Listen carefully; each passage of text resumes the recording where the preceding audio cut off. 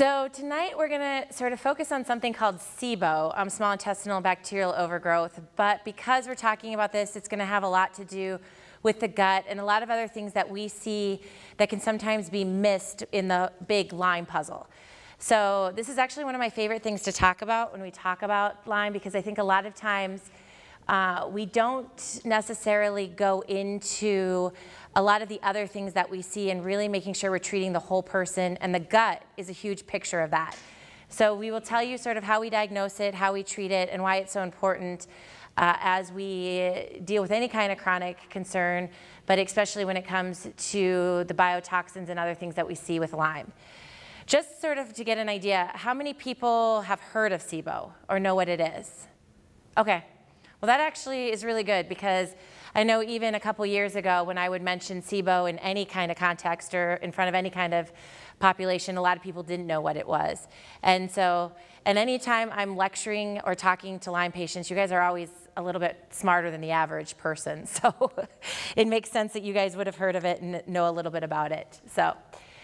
Um, this is just a little bit more about me, uh, but Gail already went over this. So uh, I guess the important part of this is just that I've uh, gone to a lot of school, um, treated a lot of different things, and now work at a clinic both in Eagan and then work with natural medicine of Stillwater, uh, treating various uh, conditions and concerns, and definitely one of the people and groups that we see a lot of is Lyme. And so really working to make sure that we are treating the whole picture of Lyme and chronic diseases. So one of the things that I think is important, and one of the reasons why we wanted to talk about SIBO when it came to Lyme, is for two main reasons. Uh, I think in general, when we talk about the approach to any kind of chronic infection, a lot of times, unfortunately, we miss the boat um, as practitioners. You know, I think that the way that we're trained and the way that we look at it, both in an alternative and traditional medicine model, is that we think of an infection in the sense of an acute infection. So we're used to being good diagnostic practitioners when it comes to someone coming in and having like an acute sinusitis. So when someone comes in and they, you know, have an infection and they haven't felt good for two days, it's very easy for us to say, oh, that's a sinusitis. Let's give you an antibiotic and you're, you know, feeling better two days later. We're good at diagnosing that, we're good at treating that, and we're good at it being a nice little closed book when it's done. The problem is that when we talk about a chronic infection, and especially when we talk about Lyme, that it's not just the infection part of it, but it's all the damage that the biotoxins have done, that the bacteria have done, that the immune system has done from fighting this off for so long. And what we find a lot of times is that because of that, there's a lot of other things that have to be treated. Uh, there's a lot of components that go into treating somebody with Lyme, and the gut is a huge component of that. And so, you know, we often refer to Lyme disease as, you know, what we call the great imitator. And what we mean by that is that there's a lot of signs and symptoms that go into Lyme disease. And you can see from this slide that we sort of listed them. And that's where it can be really hard, as all of you guys know, it can be really hard because you sort of go from one doctor to another, you go looking from one answer to another, and you don't always get, uh, you know, everybody's journey is a little bit different, and you don't always get the answers uh, of why, you know, this is happening or that's happening. So with Lyme disease, you know, you can see everything from, you know, upper respiratory to muscle pain, joint pain. Uh, you can obviously see it's from the bacterial and viral infection things happening from there, gut uh, concerns can come up, uh, TMJ, things like that. You know, we just see a lot of things with Lyme disease. As you're going to see in the next slides, we also see a lot of those things with SIBO. So what we're finding and why we're so passionate about testing people for SIBO, especially Lyme patients, uh, teaching people about SIBO, is that a lot of times we find that this goes undiagnosed and untreated, and that we can't really get ahead of the infectious disease with Lyme until we also go after uh, SIBO, and digestive health. So you can see that this is, comes straight from the website from stillwaternatural.com. Um, and uh, I know that it's sort of small, uh, but if you can sort of see, uh, you know, this is a blog post that Dr. Bush wrote, you know, do I have Lyme disease or SIBO?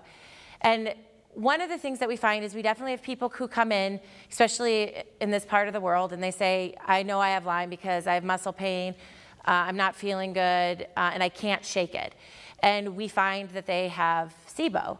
Uh, but we also see a lot of Lyme patients who, you know, have gone through extensive treatments, obviously have gotten a lot of antibiotic treatments or natural treatments, uh, gone down that path, and then they come to us and we actually find little evidence of Lyme, but what we do find now is that they haven't approached or addressed some of these other infections that have also been there. And one of the analogies that I always use is when it comes to infections and it comes to diseases, a lot of times nothing parties alone. So a lot of times there's co-infections uh, and co-concerns that we also have to address. SIBO being a main one that a lot of times goes undiagnosed and treated. But so you can see from this blog post that if any of you guys want to look at it uh, closer, you can go to stillwaternatural.com. But you can see the signs and symptoms that go along with SIBO, and that a lot of times they overlap um, with what we see uh, with Lyme, Babesia, and Bartonella. So when we talk about muscle pain, joint pain, headaches, anxiety and depression, insomnia, constipation, belching, candida, intestinal pain, bloating, skin rashes, gas, heartburn, nausea, and gallstones. Those are all things that obviously we see with Lyme um, and some of the other co-infections, and then we see them with SIBO too. So that's why it's important for us to sort of address uh, SIBO with our Lyme patients. And then as you can see, SIBO also is a great imitator. So it looks a lot like other diseases. That's why a lot of times it goes undiagnosed or untreated. Uh, a lot of times we'll see people come in who do obviously have Lyme, but that they also have SIBO. So we can't really get the immune system up and running and get them better until we also address SIBO. And the other interesting thing is that when we look at this, SIBO treatments do really overlap with Lyme treatments. And so uh, with SIBO, it, we also use antibiotics. We use a very specific one called rifaximin or Xifaxan. Uh, we also can use herbs, and at Stillwater, uh, and the other clinic I work at called Synapse, we do use both. So we put people, depending on what we find, uh, and we'll go into how we uh, diagnose SIBO, but depending on what we find, we use both herbs and antibiotics.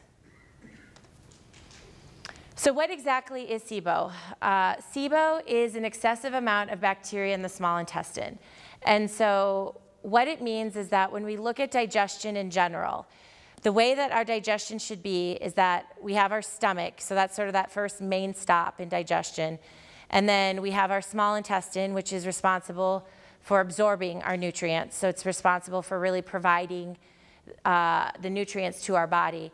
And then the large intestine, which is mainly responsible for elimination. We should have a larger amount of bacteria in our stomach so that if we do um, you know, get exposed to some bacteria, we know how to take care of it through stomach acid and uh, probiotics that are in our stomach.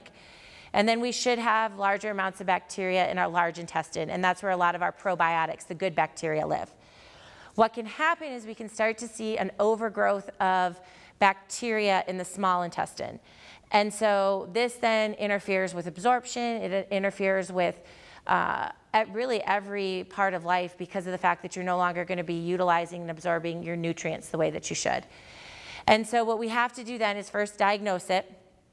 And then what we have to do is really get the gut rebalanced. So get the bacteria so that it's not living in the small intestine and then get it colonized back into the stomach and into the large intestine. A big picture of this too, obviously also is the microbiome. So the good bacteria in our body it's really about replenishing that environment the way that it should be and getting that microbiome the way um, that it really should be so that we have optimal health. And I think that a lot of, you know, the research now and what we're really realizing is that the microbiome is huge when it comes to health and wellness. That there's not enough emphasis that we can put on the good bacteria. And so obviously when you're fighting any kind of infection, especially a chronic infection, like Lyme, there has to be a hit to that microbiome because you have to get rid of the bad bacteria. But in order to build your body back up and to get your immune system back to where it needs to be, your brain health back to where it needs to be, your gut health back to where it needs to be, we need to focus on rebalancing the gut. And you know, one of the first questions we have to answer when we're going after this rebalancing of the gut is is there an infection there that we have to remove before we re-inoculate? And that's such an important question because it changes the game.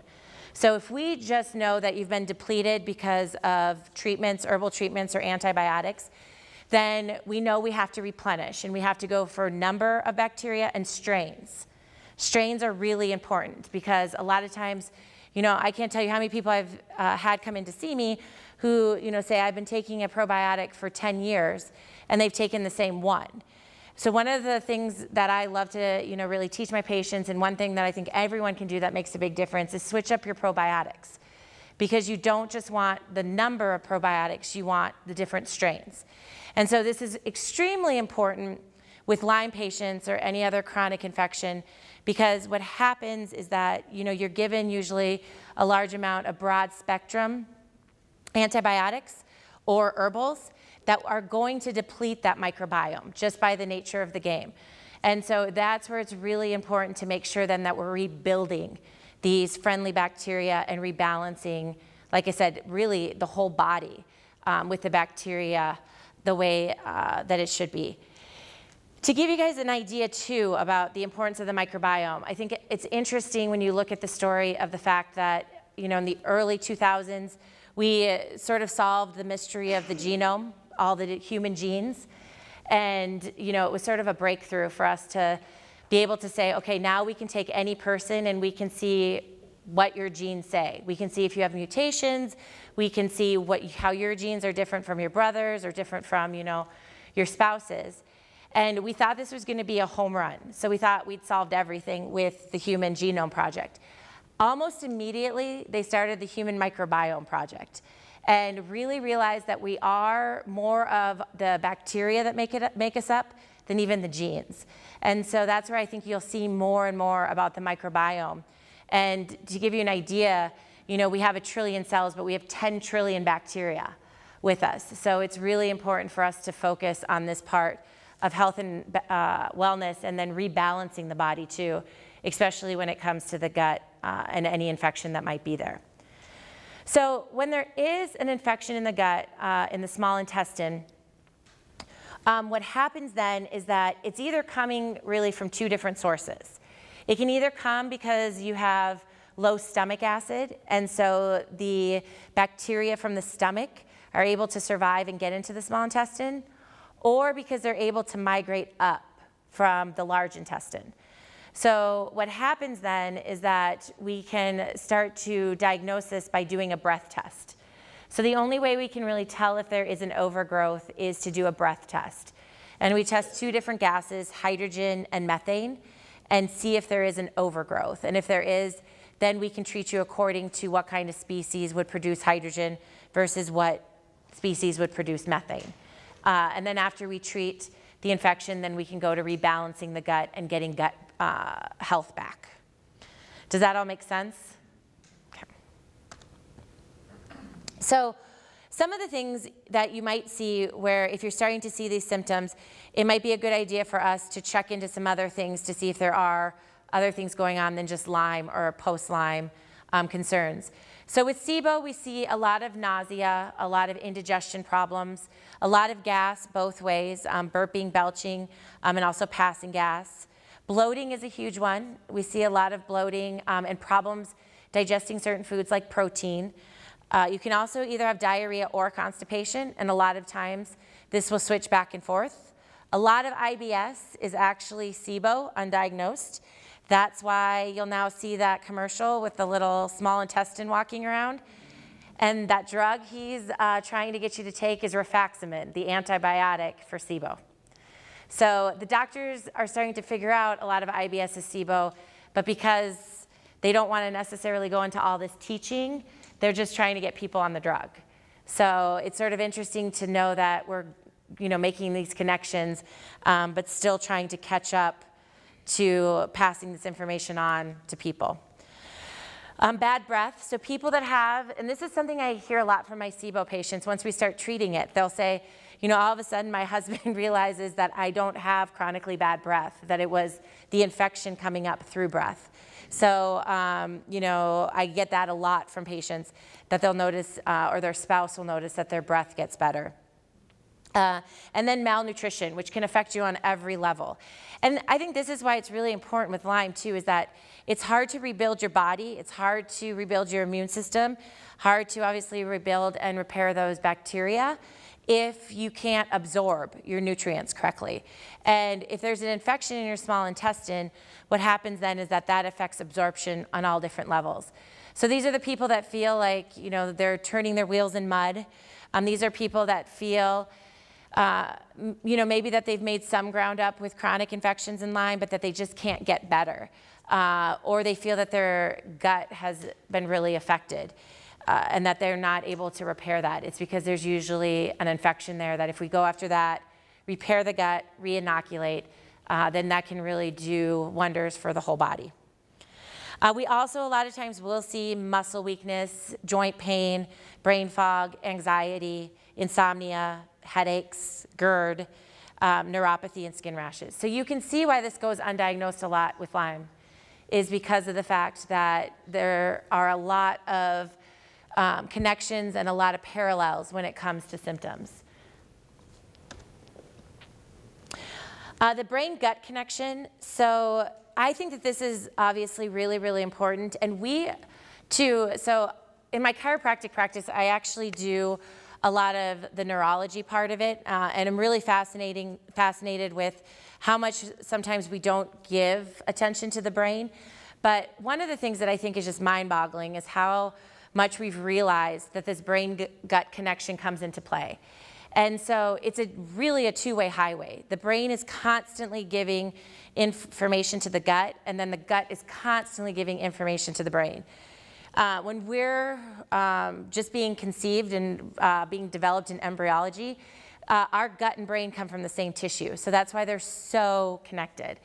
Uh, the other uh, sort of cool information to let you know exactly how connected they are is that we now know if anybody has a brain injury, a concussion, or a traumatic brain injury, uh, within two hours, their guts become inflamed. Even if you haven't touched your gut in the trauma, but that shows you how powerful that two-way highway is. That if anything happens to the brain, the gut immediately also becomes inflamed, and vice versa. If the gut is inflamed, your brain's gonna be inflamed. So that's why it's really important for us to address the brain-gut connection and get the gut back to where it needs to be, not only for the gut, but the brain. And as some of you probably know too, we now even refer to the gut as the second brain. So it's such an important part of you know, what we're doing uh, and really getting somebody back to optimal health. So uh, one of the things that we see with SIBO is that it's a common uh, cause of neurotransmitter imbalance. So people who just feel blue all the time or depressed or have anxiety that they can't really explain, you know, they could be sitting in the happiest environment and all of a sudden they feel anxious or have a panic attack. A lot of times that's because the inflammation is coming from below, it's coming from the gut, um, and it sets off these neurotransmitters. When we talk about the gut being the second brain, 95% of our serotonin, that feel-good hormone that makes us happy, 95% of it's in our gut. So we think of it as obviously a brain chemical because it is, but the majority of it is in the gut. So when we talk about you know, gut feelings and gut instincts, it's because we release those neurotransmitters uh, more in our gut a lot of times than we do even in our brain. So uh, there's a lot of connection when it comes to brain and gut, and that's why it's so important for us to really address the gut. Um, bacterial activity stimulates immune response, which generates inflammation. So one of the important things too is that when we really look at keeping inflammation down in our gut, the number one thing that does that for us are the probiotics. And so we know that they help to keep inflammation where it needs to be or cause, they also have the ability to cause inflammation to heal. So remember, not all inflammation is bad. You know, we obviously want inflammation at some level. We just don't want it under, or we just don't want it out of control. Uh, but the bacteria are really what's responsible for being able to dance that delicate dance. And then um, that inflammation stimulates the sympathetic response and reduces serotonin synthesis. So if our gut, uh, this is sort of what I was talking about with the serotonin, if our gut is inflamed, then we're not going to produce enough serotonin and it's going to drastically decrease it. So when we're inflamed and when I just call it angry, when we're angry, we're not going to go do the work to produce that feel good hormone or even worry about you feeling good. You're just going to try to survive, not thrive. So our goal is to get the gut back, figure out what's going on, and to get it to heal so you can get back into thriving and not just surviving.